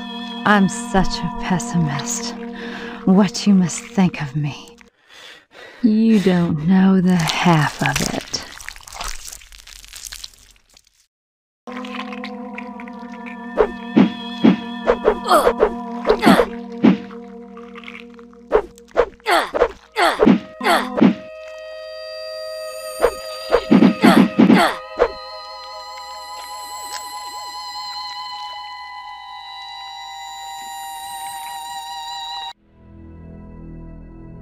Welcome to the Temple of the Mystery of Religion. The mystery is thus those who preach love and mercy in God's name are often those who call for the death of heathens. Do you believe in God, my son? You are wise. His mercy anoints us all. And where doth he dwell, the Lord? Indeed, any other response would be blasphemous. Answer me this, if word be with you.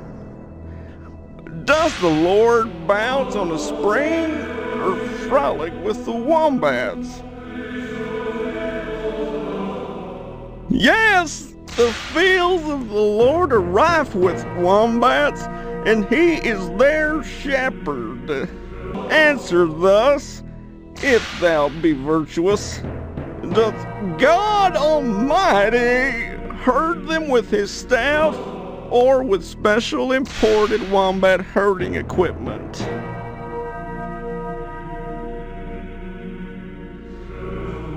Naturally, God, being almighty, hath no need to import anything his staff doth serve. Now, I ask thee one final question, which is only known to those amongst the ranks of the saved. Is God a jar of strawberry preserves, a size 12 sneaker, a foot long hoagie, an all expense paid trip to Brazil, or a new car? You are correct.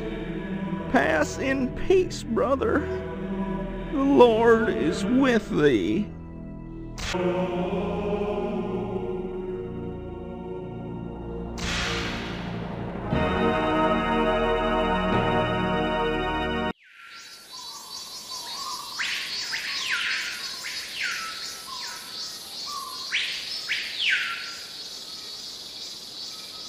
What do you want here? I'm just passing through. You think it's that simple, huh? Just passing through? Well, my family was just sitting around. And look where it got them. The temple of the mystery of morality. My country paid me to kill. And then when I came home, I was out of a job. They expected me to stop? Cold turkey? Is that what they wanted? A paycheck today, jail cell tomorrow? Am I a criminal or an entrepreneur? Hey, let's find out.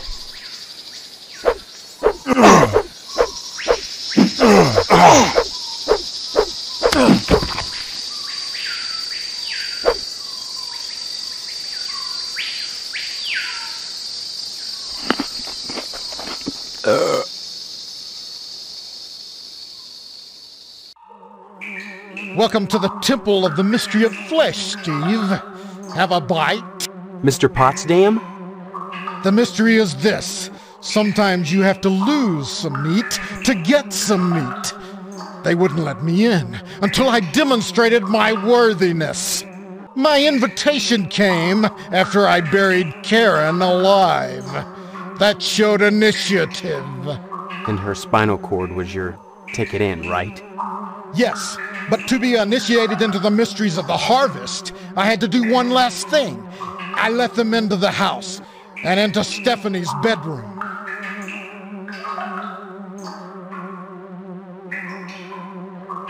Sorry, that's not my department. Now I am a butcher. You should have gotten your dad to hire me on. That way, you could have been the boss instead of the prime cut.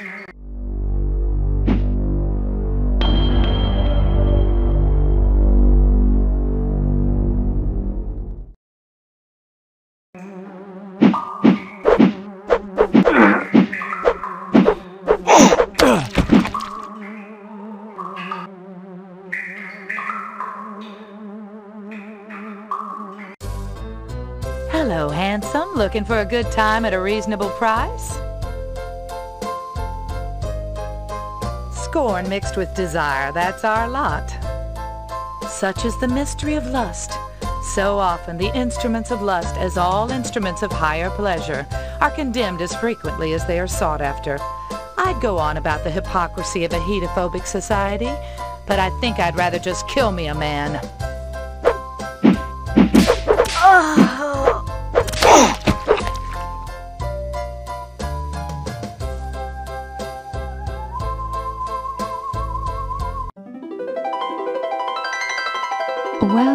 to the Temple of Beauty. And am I not beautiful, oh man? Look at my hair, black as a moonless night. Look into my eyes, deep pools of desire. Look at my complexion, pale white and glistening.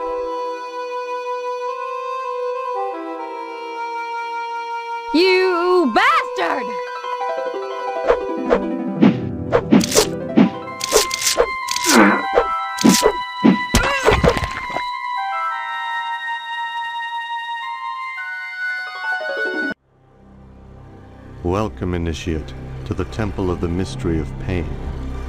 The mystery is thus.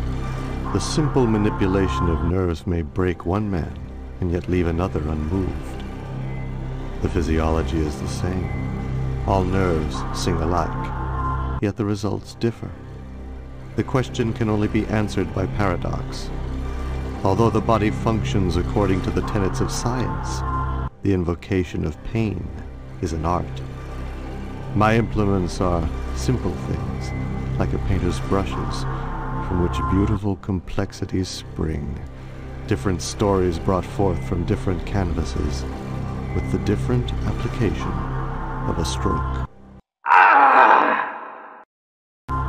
I invite you now to torture this man on the table, to explore this blessed mystery yourself. Otherwise, I'll have to teach you the lesson myself.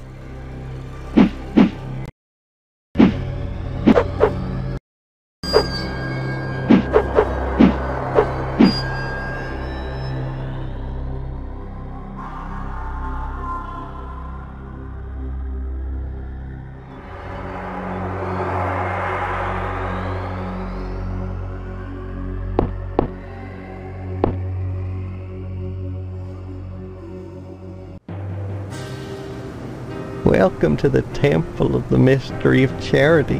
What mystery is there in charity, for God's sake? The mystery is thus. Any act of charity is an act of selfishness. For in any charitable exchange, one must take from another, and one is always left the poorer.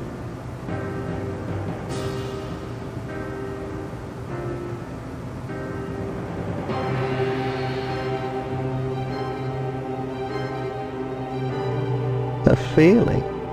Discouraging answer, initiate.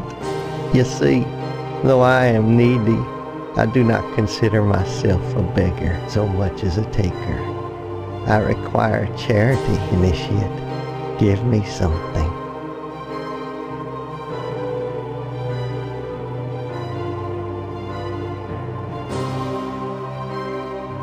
Charity is a loathsome lie. The only gift that keeps on giving is death.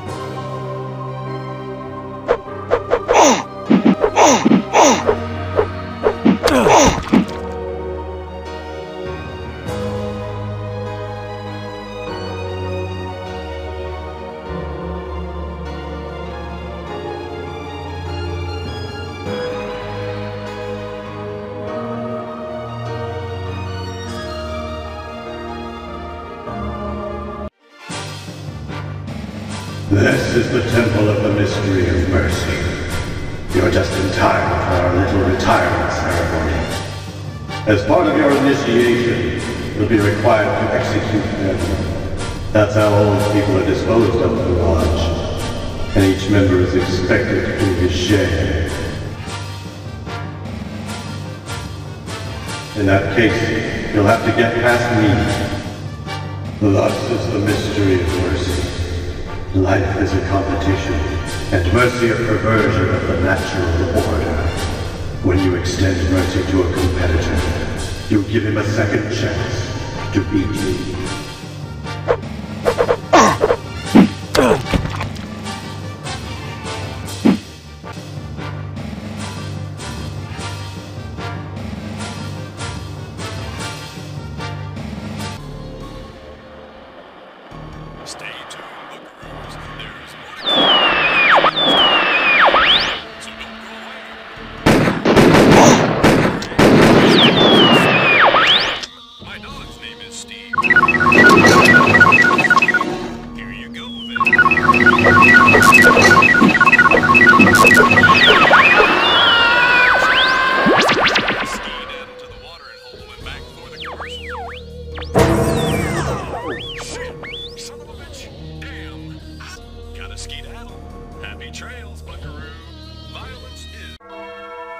Welcome to the inner sanctum, big guy. Principal Harrell? Within the inner sanctum, you will address me as Vice Muck Harrell, second in command to the Grand Muckety Muck. He of the Fez and Buffalo Helm, the secret handshake, the funny passwords. Only fitting, given that my role has always been that of an educator, and Harvest is one big classroom. What do you mean? You'll have to kill me to find out what he means, big guy.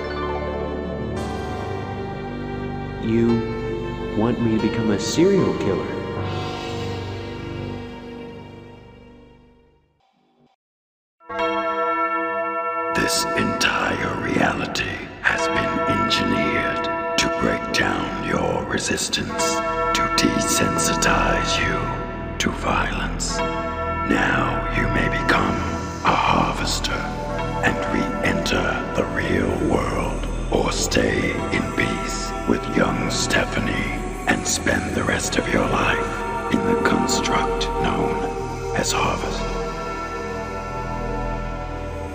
What is the real world at this point? Right now, you are suspended in a sensory deprivation tank wired to a VR tech. If you don't join us, we will terminate your life support, and you will be dead within minutes. Those last minutes, however, will seem like a lifetime lived in harvest. You will marry Stephanie and die peacefully of old age. You're presuming a lot.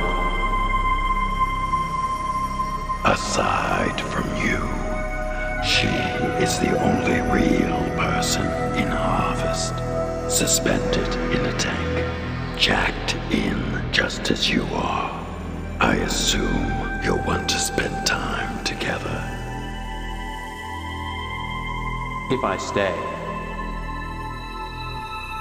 Of course, having completed your ordeal, you may leave with her as you intended and enjoy your victory. If, on the other hand, you wish to join us, the cost of exiting the lodge is the same as the cost of entering the lodge. A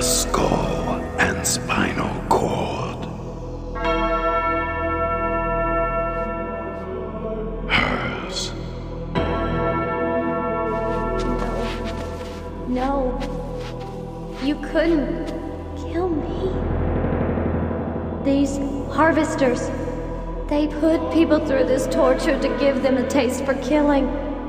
The way to beat them is to deny them, to live out your life here with me. You're thinking about killing me, aren't you? Didn't you hear what he said? I do exist. If you kill me here, I'll die for real. And I'll feel all the pain, all the terror, because I'm real. Well, what's a murder without pain and terror? We will feed the pain impulses directly into our brain and then pull the plug. You will be a murderer, this time for real. So what will it be? Life in harvest or life as a harvester?